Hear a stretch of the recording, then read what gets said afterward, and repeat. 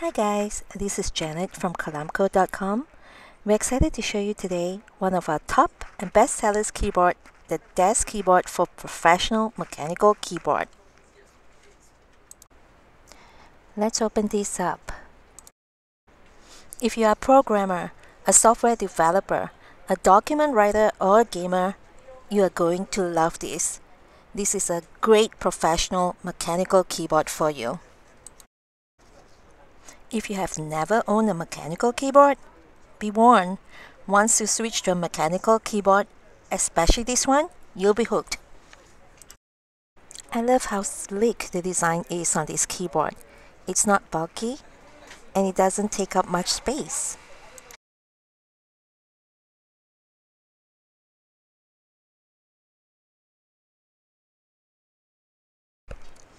We get a lot of questions from our clients wanting to know if this is a clicky keyboard or a silent one.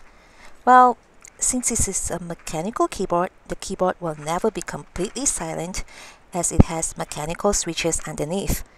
Please note that there are two types of switches for the keyboard. The Cherry MX Blue with blue switches and the Cherry Brown with the brown switches. The blue switches is definitely clicky, then the cherry brown. Let's take a listen. All right, now do the clipping.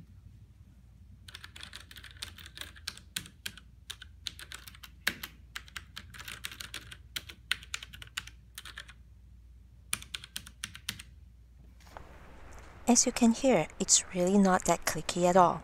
The Cherry MX Brown switches have a soft, tactile bump about halfway through the key press. The soft pressure point switch technology makes the mechanical keyboard less clicky while providing an awesome tactile experience. If you really want to keep the noise down to nothing, you can get Cherry MX rubber O-ring switch dampeners. Switch sound dampeners are soft rubber O-rings that can be installed onto every single keycap stem to cushion the landing of the switch by stopping the keystroke just short of the point of bottoming out. Next, let's check out the media control. It has an oversized volume knob, mute, play, pause, next, and previous track. The volume knob controls the master volume. This is great for gamers who want quick access to the control. Okay. The Das Keyboard 4 comes with high-speed hub capability. You could add mouse or other plugins easily.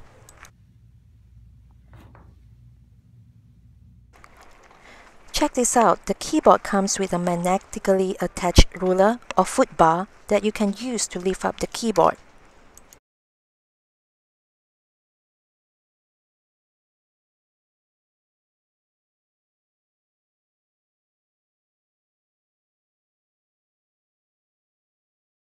Isn't that cool?